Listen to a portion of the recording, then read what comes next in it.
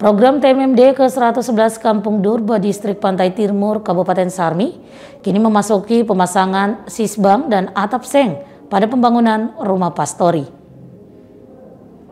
Satgas TMMD ke-111 Kodim 1712 Sarmi Sertu Fauji yang melaksanakan pembangunan rumah pastori pada TMMD ke-111 Kodim 1712 Sarmi di Kampung Durba Distrik Pantai Timur Kabupaten Sarmi menyampaikan untuk tahap pembangunan rumah pastori kini memasuki pemasangan sisbang dan atap seng.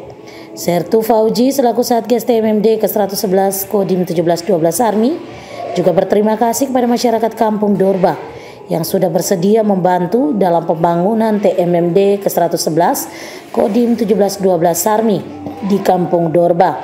Untuk pembangunan rumah pastori saat ini sudah mencapai 60 persen.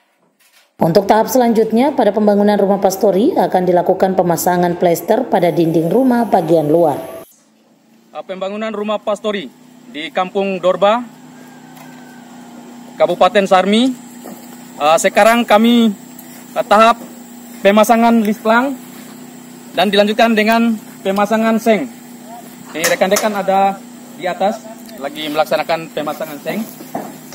Mudah-mudahan uh, pelaksanaan pemasangan sini hari ini selesai dan kita lanjutkan besok uh, uh, finishing yang di bawah. Tim Liputan News Jayapura melaporkan. Informasi tadi sekaligus mengakhiri jumpa kita dalam News Papua edisi hari ini. Kami tetap terus mengingatkan untuk mematuhi protokol kesehatan dengan 3M yaitu memakai masker, mencuci tangan di air yang mengalir, serta menjaga jarak. Jangan lupa makan makanan yang bergizi. Saya jaga koko, jaga sawas pada COVID-19. Saya Marlan Sawaki mewakili seluruh kerabat redaksi yang bertugas undur diri. Terima kasih untuk bersamaannya. Selamat siang, selamat beraktivitas, dan sampai jumpa.